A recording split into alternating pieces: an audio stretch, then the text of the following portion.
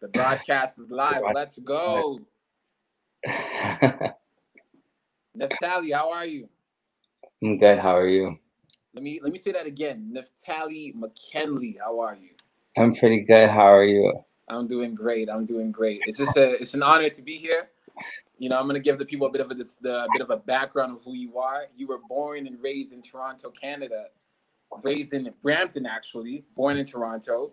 Mm-hmm. At 22, traveled to New York City to pursue your dreams. Later on in life, your performer, your portfolio is so big, you got the chance to work with artists like French Montana, ASAP Rocky, and you got a chance to work with some Canadian legends as well. Everybody, welcome Naphtali to the show. Woo! we're, we're, we're working on our, our, our that was our the best intro I think I've ever gotten. So thank you. no problem, no problem. I want to make you feel big because you are big. Thank you.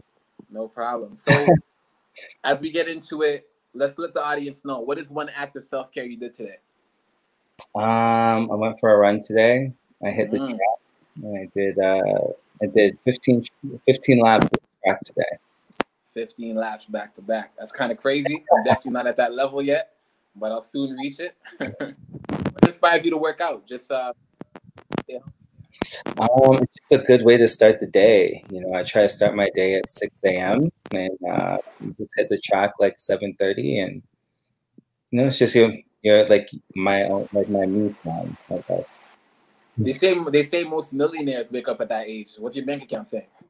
my, my bank account say, you know what? Honestly, I'm actually doing pretty well with saving my money right now, so I'm good. Amen to that. Amen to that. so wake up that early. I'm guessing you sleep a lot or you sleep? Mm. Um, the weekends, uh, the weekends I sleep. I try to sleep in, but I pretty much have an internal clock. It doesn't matter what I go to sleep. I, I'm pretty much up around that time. Okay, okay. You know, it's, it's a skill that as creatives we all need to have because you know early they say early bird gets the first worm. I know I'm butchering the quote, but I definitely understand the point of waking up early and getting to it. But I know in, in order for me to get up early, I have to sleep in because I'm the type of person. If I wake up at 6 a.m. to do 15 laps, I'm gonna go back to bed till 12. So that's how it works. but we're here today to discuss about a bit of your life, a bit of your journey, get some advice from you, and just hear about you. So the first question I kind of want to ask you is, when did your love for the film industry begin? Hmm. Uh, you know what? I always was really fascinated with like music videos growing up. And like around 12 years old, like my parents had just gotten like BET, and my dad just got like our first like big screen TV. Yeah. And the uh, I remember watching the um, Missy Elliott had this uh, video that Hype Williams directed. Hype Williams, that's crazy. And, uh, ever since I saw that video, I was just like, yo, I want to make videos like this, and I want to shoot stuff. So yeah, um, I just kind of grew up uh, always wanting to be like always holding the camera, being behind the camera mm-hmm. I was super young. Mm-hmm. Okay, so saying BET and Missy Elliott did it for you. Yeah, basically. yeah, there, there's no music videos like Missy Elliott. She was so distinct in in in her artistry. Like you, like when Missy came on, you knew it was her. And another thing that I like about her, she was kind of um, a revolutionary, kind of like a Mary J. Blige. Like they did not, their fashion is very different than the fashion of other artists, but they didn't care. They did them and they did them to the full. Now I can see where your journey started in terms of like, okay, I want to do this, but what were the steps and actions you took towards saying like I'm gonna do it beyond just a dream? How did you make that dream into a reality in a sense? So uh, I actually told my parents growing up that I was going to go to med school, and I was planning on going to med school. So my dad was really happy about that. Yeah. Um, but me and my mom were talking one day, and she's like, "Do you really want to go to med school?" And she kind of actually was the one that like got it out of me that I actually wanted to go into film. Mm-hmm. Um, so when I told her that I wanted to go into film school, she uh, it made more sense to her, and she was like way more supportive of me going into the arts. Mm-hmm. So I mean, we had to hide it from my dad for a little bit. did you did you choose med school because it looked like the more professional thing to do? Um, I think at that time or that age, it was just kind of like uh, I was really good in science, and I was just kind of like, if I wanted to be a doctor, I was going to I wanted to be a plastic surgeon. Um, and then, uh, but that was just kind of like, what's the the thing to go to school for? You know, was either that or I, I knew I didn't want to do law. I actually really enjoy science, so that ah. made sense. Um, but, uh, but I love film and art, so that's my passion. So that's what I pursued. Yeah, we're thank we're thankful for your mother because not all the time do mothers reroute their sons towards the direction that seems less promising, right? Because hearing my son's going to be in the medical field is sounding like money, but hearing my son's going to pursue his dream, it sounds like hope and struggle. so, but honestly, we're thank big up all the parents who support their children and what they want to do. So, with your mother's support, how then did you say, okay, like I have this dream to break into the film industry? What were the actions that you took forward? This is also something that other young um, young black kids can listen to as well and see like what is it what is it that I need to do in order to launch and start. Hmm. Um, I mean, so I grew up in Brampton. um, it was like you know, like there, I wasn't like chilling on the road in that in that nighttime. Like I was home most of the mm-hmm. time. Um, and I used to just kind of like around those times you had like MySpace and like Whoa. all these all these new, yeah throwbacks. So like back like my generation, like, we grew up with all these like emerging technologies, right? So yeah. we had the, the MySpace and all that stuff before Facebook, and then I just actually started connecting with people. And yeah. Uh, out of college, after I finished film school, I was very fortunate. I got a job at like this uh, uh, media. They called them online magazines mm. when they first launched, but they're just like these websites. Mm-hmm. Uh, I, did, I worked at a fashion website here in the city, um, and then it kind of like I was just doing video editing and shooting there. Yeah. Um, but then I just decided to like start taking that side of my career further, like in content creation. I kind of saw like the opportunity to just pursue it more independently than kind of um, following the rules to get into the industry, you know? So yeah. that's kind of how I pursued it. So in a sense, I'm hearing a lot of networking. Yes, lots of networking. That's what I meant to say. I got you. I got you. So it's all good. It's all good. So in the sense where if you're if you're someone who wants to be behind the camera, connect with artists, connect with people who do things in front of the camera to see if you yeah. can be the one to capture them. Now, of course, in the beginning, I don't know how it's for you, but in the beginning, for me, when I took on opportunities, they weren't paid opportunities. I had to do a lot of free stuff before I can get paid for stuff. Is that kind of the route you went, where you had to do a lot of free work for artists or bloggers, and then later on was able to kind of get your bag into it? How did you get to the point where you're saying this is becoming a business because I'm getting a check for this work? Mm-hmm. Yeah. Um, for me, it was just kind of like uh, a lot of stuff I did for free in the very beginning, um, but that's because I was really passionate about my dream. Yeah. Um, and I kind of knew like what my portfolio needed to look like in order for people to really take me seriously. Yeah. Um, so I just kind of started volunteering, and you know, people would be giving me all these jobs and all this content, and like I'd have all these like uh, really important people in my portfolio early on in my career, which kind of led to like bigger opportunities. Yeah. And to be honest, the magazine that I was working on in Toronto for free um, was the magazine that actually brought me out to brought me out to New York City, and that's how my career started out there. So working for free kind of launched my career. Wow, you know, there's a there's there's a lot of um, stigma around free work. you know, of course, no artist wants to sign up to do things for free, but I think in the beginning, when you're trying to build a resume, you got to get some experience in. And mm-hmm. it's better to mess up on free things rather than to mess up on things you were paid for. So, mm-hmm. to all creatives out there, I would just encourage that if you don't have no from a resume, go out to an open mic, go out to a few things because you never know the things that you do for free. There might be somebody somebody in the audience who's gonna give you a, a gig that's gonna get you paid but all together we all need experience, right? So, what would you say to the artist who's struggling to make a business out of what he's doing or she's doing? Um, hmm. I mean, for me, it's just kind of like, uh, you know, you have to kind of just examine your brand uh, and how you kind of approach things, really. Yeah. Um, if it, you know, do you need to take more classes and kind of stepping your quality up? Yeah. Um, and do you need to study editorial more? Um, are you networking in the right circles? You know, mm-hmm. I mean, it's just kind of like a lot of people kind of network within their network to make money, but you know, are you networking with the people who are going to pay you guys stuff?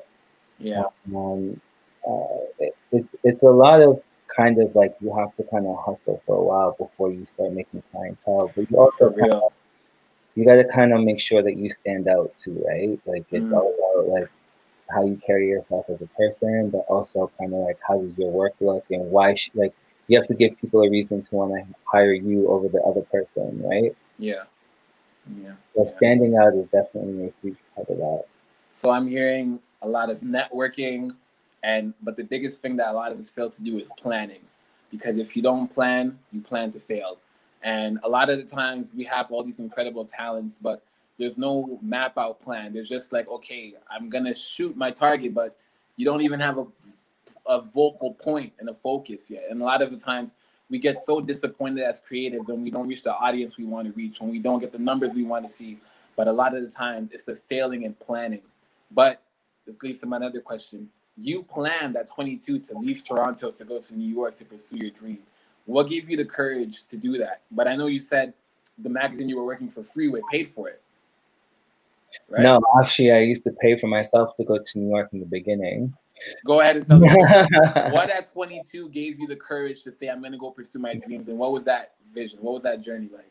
Mm, well, I started traveling to New York when I was like 19. Well, I've, I've been travel. I've always had family and friends in the States growing yeah. up. We've always visited over there. Yeah. Um, but I started visiting, like going to New York on my own when I was like 19, 18. Mm-hmm. Um, and uh, I would take the, the bus across the border. uh, That's like 11 hours, eh? It's an 11 hour ride, you know what I mean? But wow. you know, when you're young. Before you even continue, what was going through your mind throughout that, that those hours? You just get really excited, you know what I mean? You're about to head out to New York. You have your friends who are out there, so you're just yeah trip, right? But yeah, um, you know, I always had my camera with me. Uh, I was always seeing up people that I knew to like shoot them and just kind of like hang out, make content. Um, a lot of the time, again, when it comes to doing free work and building my portfolio, um, for the magazine I used to work out there, I would offer to go shoot New York Fashion Week for them mm-hmm. because mm-hmm. I used to like um, get online and hit up PR agencies to get like contact lists for all the designers and stuff. Yeah. And I would email all their PR people and get into all these fashion shows for Fashion Week. Yeah. Um, and so then I would always spend a lot of time just shooting out there behind behind the scenes and shooting it for the magazine and um, again building that content. It was for them. I would be publishing it in the magazine because it would be as like a platform, but also throwing that into my portfolio. So it was just kind of like for me, it's like I'm gonna go out to New York to have fun anyways. So yeah. I might do it. Might as well shoot some anyway. stuff and see what's up. Yeah. And you're going to Fashion Week to go party anyways, so you want to go yeah. just work. Um, and again, it's like it's it's you have to think about all the the benefits of doing that. You know, you get content for yourself, you're networking, yeah. and you get to just you know travel and have some fun. Yeah, people don't understand the importance of content building.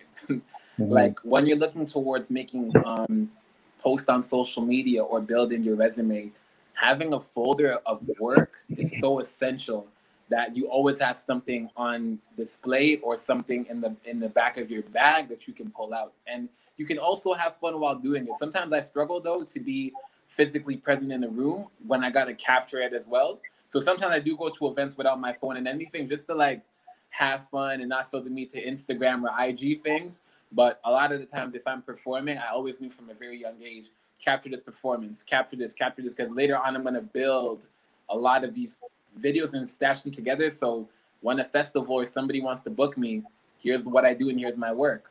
Mm-hmm. But the question I have to ask is, was it ever awkward for you to ask to be paid for your work? Like, how did you figure out, all right, this is my price and I deserve to be paid this amount? Because I know for a lot of creatives, this is a big struggle.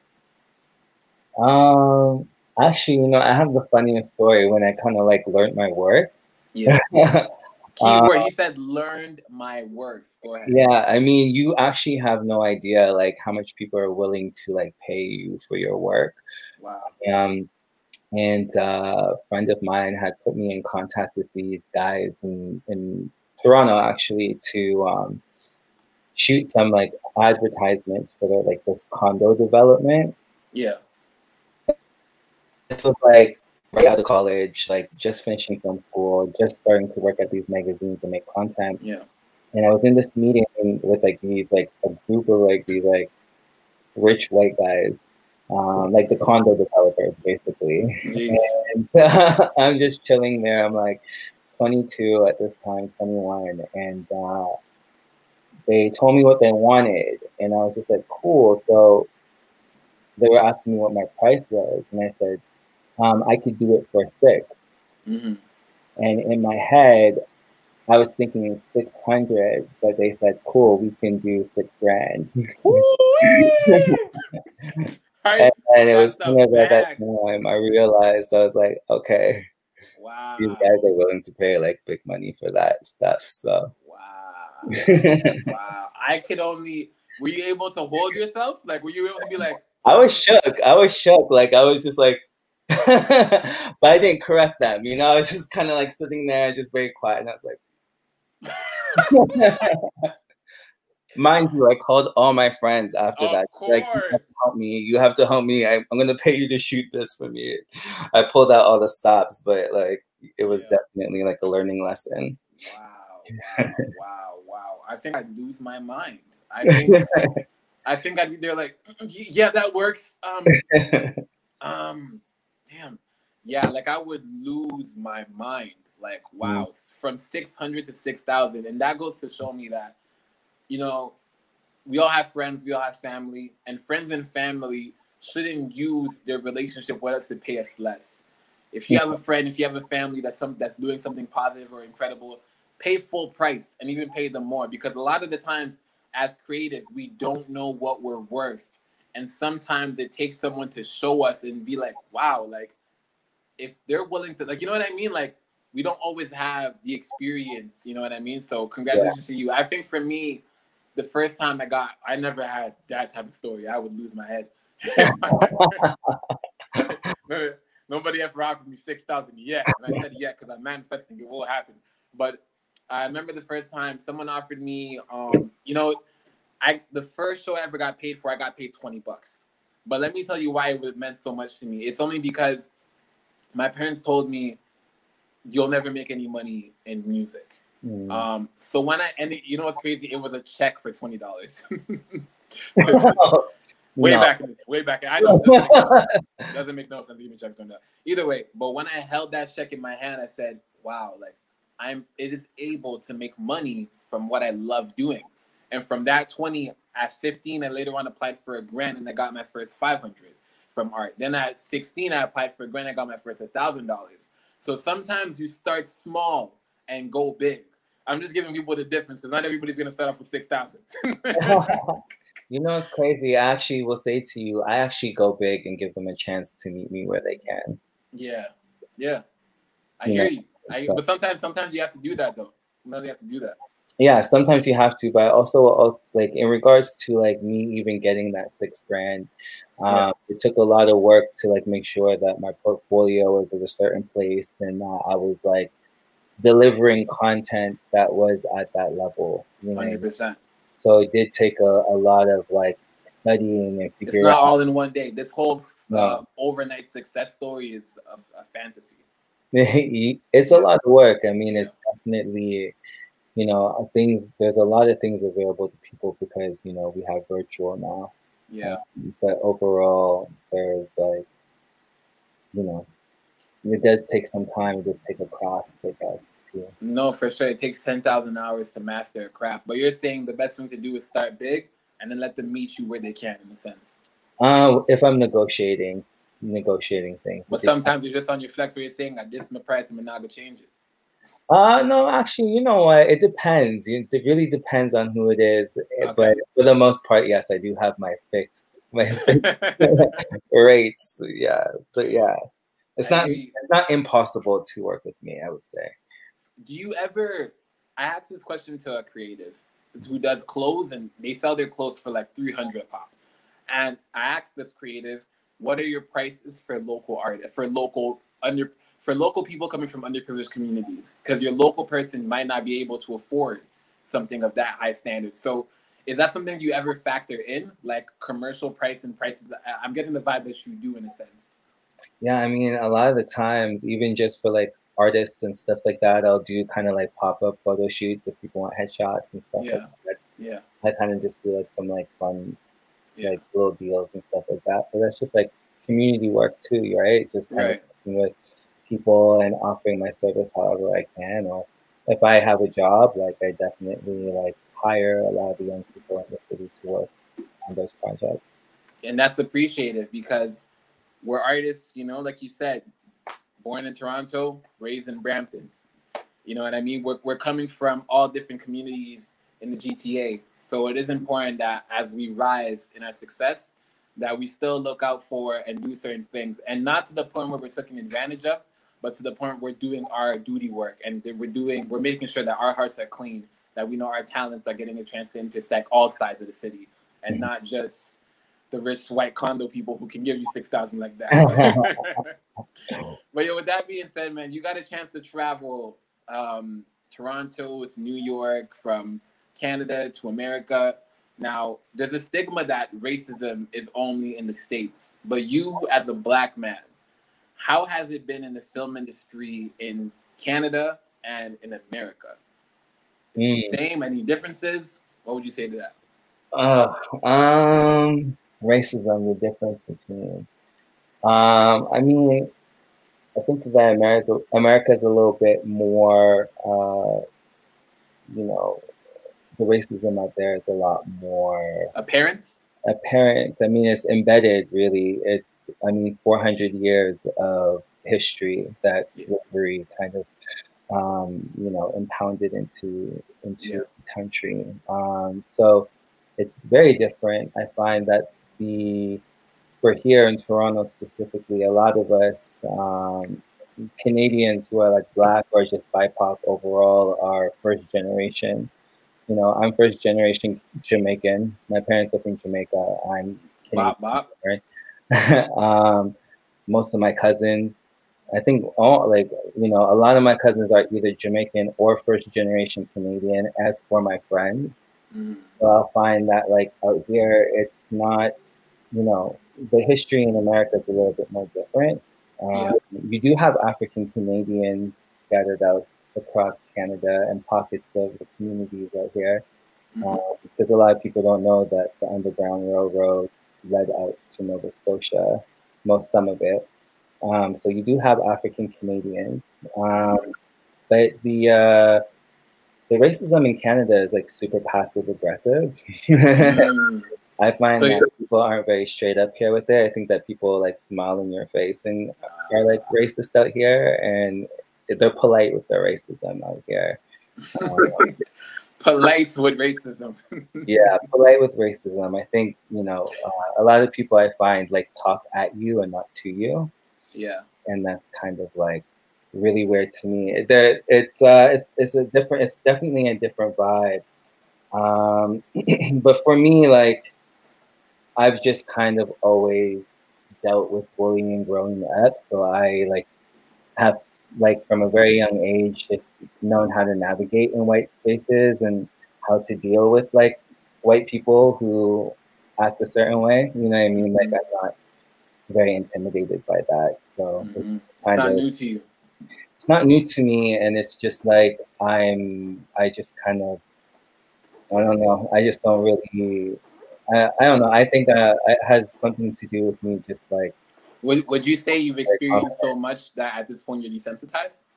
I guess so. Yeah. I guess that's a good way to to say it, or I just don't give people a chance to really come to me with that vibe because mm-hmm. I just keep it very like straight up. Mm-hmm. Mm-hmm.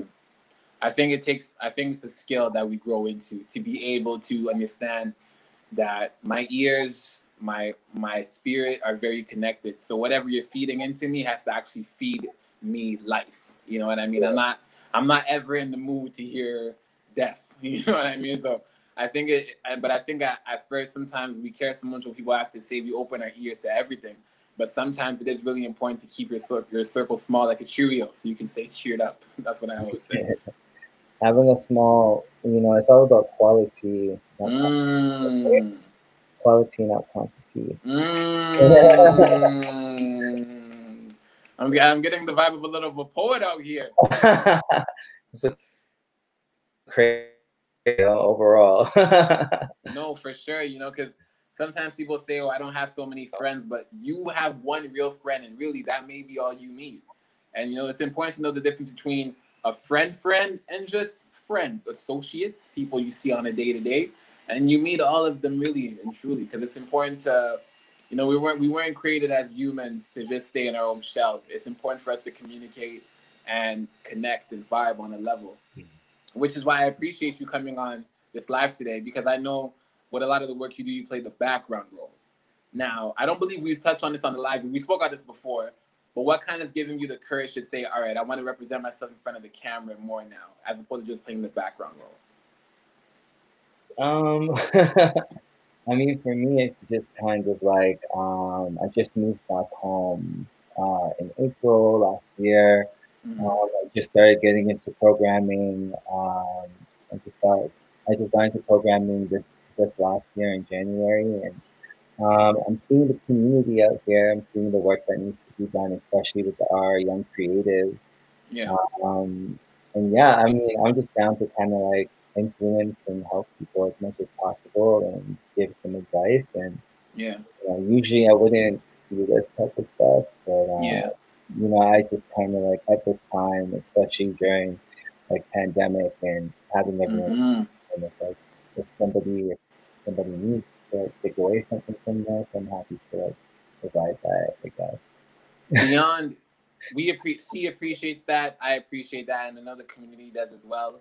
But beyond everything you just said, I think what we spoke about before is the importance of having the representation of us on film behind the camera and in front of the camera. And I know you've put on a lot of black people in front of the camera, but you as a black person, we need to see you in front to be able to hear from you, see you, so that the next black person that says, I want to work behind the camera is like, wow, it's possible.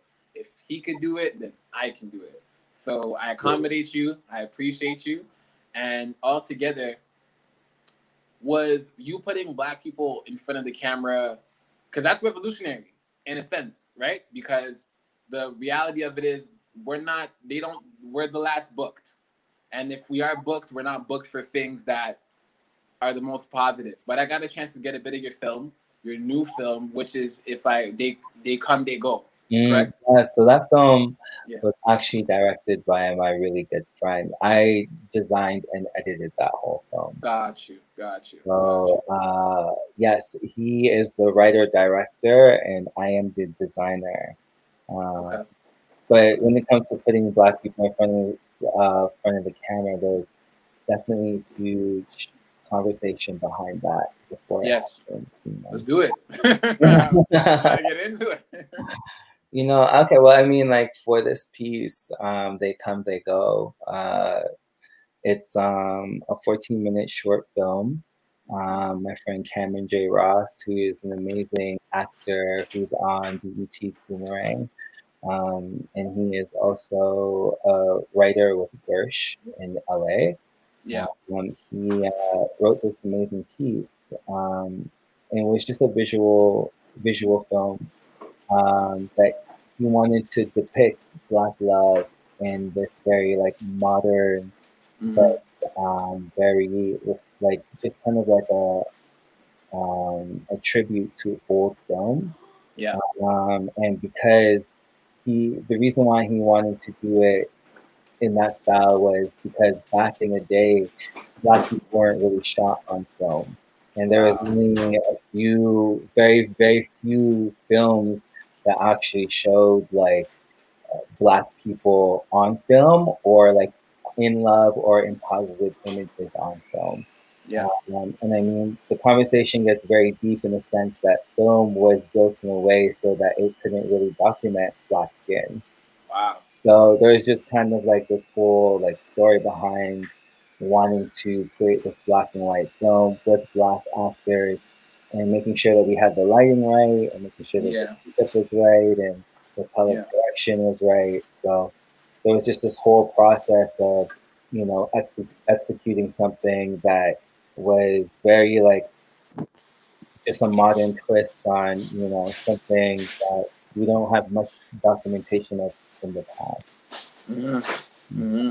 And I, am thankful you're doing that work to put us in front of the camera, make sure we look good, and make sure that we have roles that are honorable. Um, because a lot of the times, my experience with seeing the bit of the film that I got to see is, though you didn't direct it, I I, I love the the visual effect of it, and beyond that, I just love the fact that we're represented on camera, and I'm able to see us on screen because so many times when you log into these platforms like Netflix and Amazon Prime and a lot of these platforms, sometimes you kind of struggle to find black films. And we are on Amazon Amazon Prime, by the way. So I know I've seen that. I've seen that. I've seen that. You can look the film up on there for sure. And I just want to see more of us on these platforms. You know what I mean? I want to see more of us on these platforms, and um, and I'm glad to know somebody who is a part of these platforms. So, with that being said, like you said, putting black people in front of the screen is a revolutionary act because it's something that hasn't been done before. Now, what type of artists have you put in front of the screen? Is it musical artists? Is it actors? Is it photography? Like, what have been your experiences with putting black people in front of the camera? Wow. Okay. I mean, um, I've kind of done everything really when it comes to like. Feel uh, free to say small names and big names. Well, we're all big, but you know. What oh man, big names! Oh my god, local, uh, local and global. Oh my goodness. Um, I don't know, music. I've done like a whole bunch of music stuff. I've shot with like French Montana. Oh, By the oh, oh, oh, oh. You said, huh? you said who? You said who? Wait, who do you want? You want to know all the celebrities that I've worked with, or hey, who? I said, you... I said local and global. You started out big with French Montana. Pardon my French. That sounds like wow. um, what's it called? The uh local artist. You know, I've been gone for a while, so I've been like I've missed like about 10 years of my life in Toronto. So I haven't really shot too many people out here, which I'm looking to change very soon. But worked- if you want to make me your first, I'm not mad at all. You know what I mean? No problem. we can make that happen. the, uh, the uh, I've shot uh, a few people. Like I've shot Keys N Krates. Um, I shot uh, Carly Rae Jepsen, and she kind of blew up. Um, Lights, who was another like Canadian pop star. Um, the Airplane Boys, when they were doing really big. Um, those were like the early years of when I was in Toronto. Um, and then internationally, um, I was just shot for like a lot of like fashion brands. Um, uh, Kevin Durant sneaker, Corona Boxing, um, ASAP Rocky, French Montana, French Montana, who is by far like the nicest person to ever work with. That's dope. Um, and uh, who else? Uh, Big Sean. Um, yeah. Give me, give me, give me one second. Yeah. Yes. Give me one second.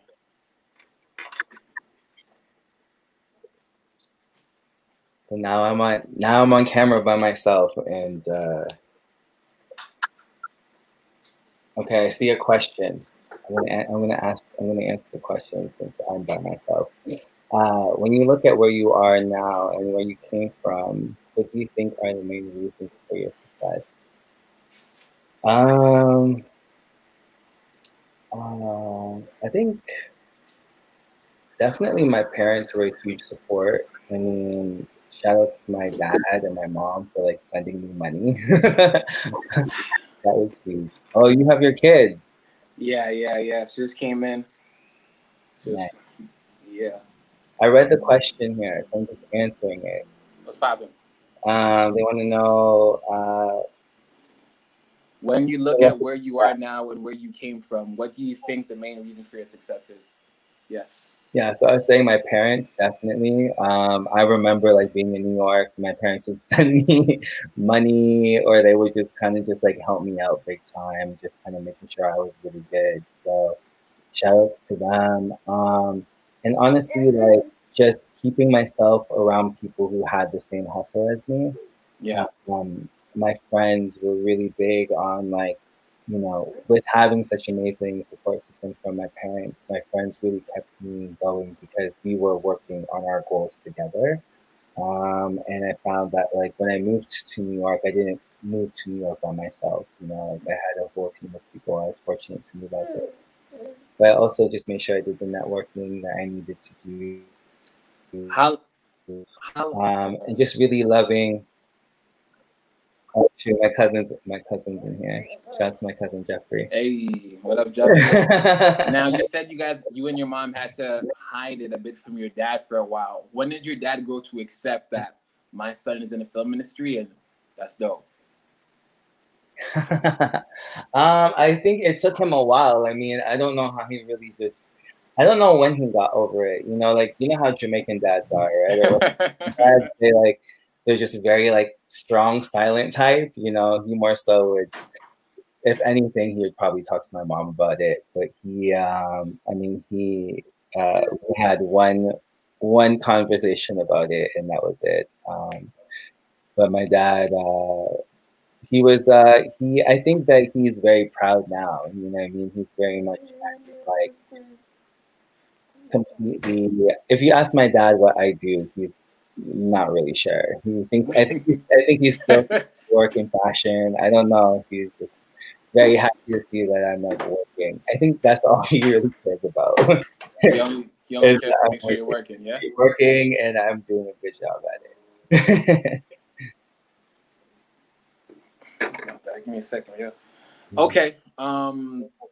Well, it's a blessing to finally have. Well, I get what you mean, though. I get what you mean. He he basically just has accepted it in the fashion, but it's like, yeah, he does the he does the film thing, and he, he does kind of. yeah, I get what you mean. I get what you mean. I get what you mean. Our mothers are the ones who are more so invested. Our dads just want to make sure we're working in a sense. I get it. I get what yeah. you mean.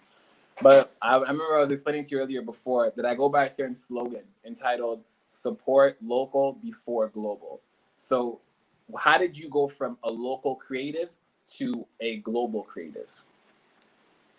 Wow.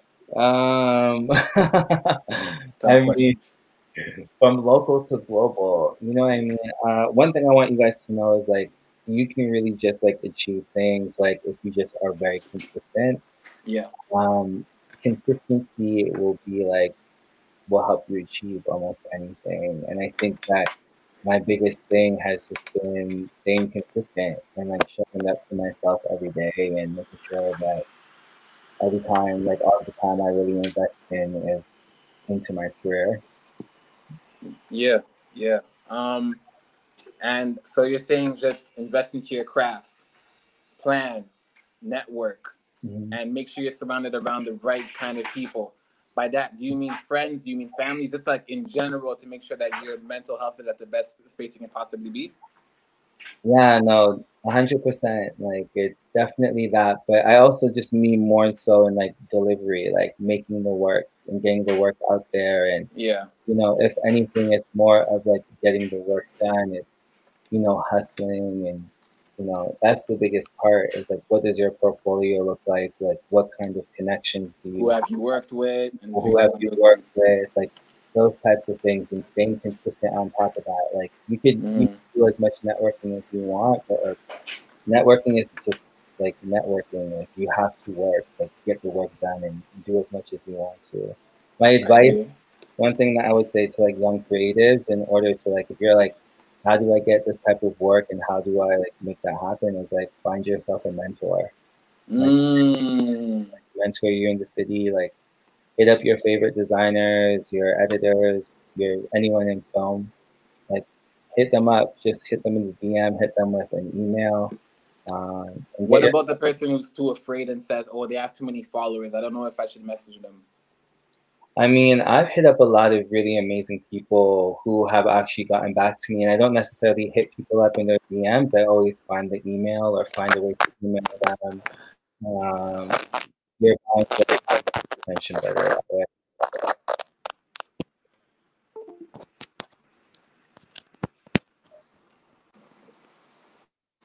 All right, yeah, the microphone, the microphone kind of chipped out. Can Yeah, I can hear you. Okay, I kind of chipped out for a sec. So you said you normally try to get their like numbers and stuff. Uh, I would just find like their emails or, and stuff. Like if you go to like, uh, for example, like if I go to a director or photographer's personal website, if you go to the contact section, you're bound to find an email. Or if there's like a little submission box, like write something in that box, you know. Um, okay. Or yeah, just like hit people up. I've, I've I guess I guess that'd be more professional in a sense. Hmm? Yeah. I guess. I mean, feel free to hit people up in their DM. You know what I mean? And th- yeah. that's still cool too. I mean, if someone hits me up in my DM, I'm gonna check it, right? So. True, true, true, true, true, true. But what is the best way to contact someone? Is it through email? Um, I would say email. Email. Okay. okay. But that's just me. I don't really, I don't really chill on social media, so I don't really check. I've noticed. My... I've noticed. I don't really check another... my I don't, that's another question I have. Like, to break into the film industry, do you have to be social media savvy, or do you just have to have a team who knows how to be social media savvy? Like, how, how does that? Yeah. I guess it kind of matters on what you want to do in social media. Mm-hmm. Um, as a content creator, um, I wouldn't say that I'm social media savvy. I just kind of like have an aesthetic. Like I know what I like and what my taste is, and I kind of like design within that element. But when it comes to like pushing social media, I don't really know the analytic aspect of things, you know? Mm-hmm. So it kind of just really matters. When it comes to film, I mean, like being an artist is like, it kind of just really matters. Like for me, i I'm more focused on the visual arts aspects of digital media. So I don't really, I don't really have to be um, like on social media too much because I'm not really looking to like gain an audience. You know what I mean? Yeah. It's kind of looking it's just like to keep in touch with people or to follow like accounts of other things that I like. Like I like memes. I follow a lot of meme accounts and stuff like that. Yeah. Um, so that's kind of what I use social media for. I hear you. Well, we're coming we're coming closer near towards the end of our of our chat. It's been well. Hope you've been enjoying yourself. But Thank you. Uh, a few things I wanted to say. Um, what would you say is the move in your career that you're the most happy you accomplished? Like out of everything you've done, that one thing that I said, "Wow!" Like, no, I'll flip the question. What are you the most proud that you've done, and the moment that you're like, "I'm actually impacting society in a very positive fashion." Yeah. Mm-hmm. I mean, spending 10 years in New York City was pretty amazing. You know what I mean? And a lot of the young people that I talk to right now, I always encourage them to, if you're in your 20s, go have fun and like travel if you can. Um, uh, one thing that Canadians, some Canadians don't know, mm-hmm. um, is that you can be in America up to six months without a visa. You just can't work. Mm. So when I was younger, I would spend like six months out of the year in New York and just kind of hang out um, and not work. Freelance. so I would um, just go hang out out there. So I mean, if you're a creative that wants to just have some fun and stuff like that, like do it while you're in your twenties. I was pretty, I'm really happy I got I had a chance to do that. Um, and when did you know you were impacting society in an incredible fashion, like a testimony maybe? A testimony. Um, yeah. Whatever. You know, it's really crazy. Um, I was very blessed to join the team over at POV, um, which is another ah. organization. Yes. Yeah. Um, so I am over at POV curating and creating all the like the programming and stuff over there right now. Um, and I think that um, I never expected to really enjoy programming this much, and um, just to kind of see how impactful it is, and how it's really been helping a lot of young creatives kind of up their game or like just kind of you know inspire them a bit really was, was pretty fulfilling. So that's kind of like one thing i'm really excited about doing now that i'm home is like focusing on the community on that note we actually have a collaboration between pov and CEE mm-hmm. and i want to kind of touch on that right now so we have an so to everybody who's listening to this who's interested in being behind the camera and breaking into the film industry, CEE actually has a production assistant program. I'll give you guys a quick blur.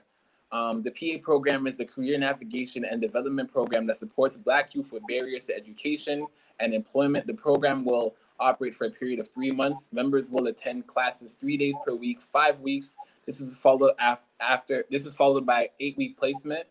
Um, the goal of the program is to provide opportunities to gain industry specific skills, professional development, transferable skills, build experience, networks, all the tools that you will need to kind of break into the film industry. So if that's something you're interested in, definitely um, go onto our website on c.org and apply. And you know, maybe you, you get to then you get there, you know, maybe we set something up for you where you can work with Naphtali. yeah, no, definitely. I'll be involved with the PA program. Um, I think it's starting in early October. Yep, um, yep, yep, yep. So you guys can definitely head over to CEE's website and sign up for it over there. No, for sure, for sure, it's definitely important. Um, is there anything that we didn't mention that you want to mention before we log off? Uh, no, not, not that I can think of. Um, I think that's it. That's good. That's good. How do you feel about being more on camera? How was this experience for you? you know, got to get used to it. Got to get used to it. Something that I got to get used to. how, how, did you feel about it today, though? Today was good. You were you're very uh very entertaining. You're a great host. Thank you. I try my best. I try my best. Um, do you care to mention any social media people can follow you on? Ah, um, pick up the film. Pick up the film. Pick up the film. Yes. Uh, if you guys want to learn more about They Come, They Go, the Instagram is at They Come, They Go Film. Mm-hmm. Um, if you want to follow me on social media, that's at Naphtali Online. And I am launching some fun projects towards the end of the month.